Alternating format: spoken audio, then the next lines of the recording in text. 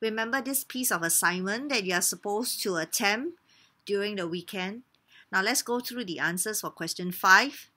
You have these different uh, fractions here, A, B, C, D, E, and F, and you're supposed to identify these fractions. So what are these fractions? What is A? Yes, A is refinery gas. B, B is petrol. What about C? C is naphtha. D, kerosene. E, diesel oil. And F, residue. Okay, this is A, this is B, this is C, this is D, this is E, and this is F. So these, this diagram shows us the answers to question A.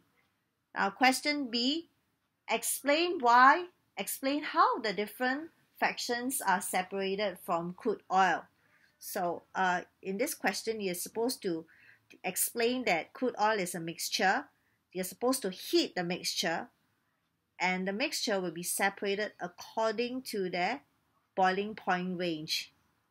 The lighter fractions are collected at the top because they condense at the top of the fractionating column, while the heavier fractions, they condense at the lower parts of the fractionating column.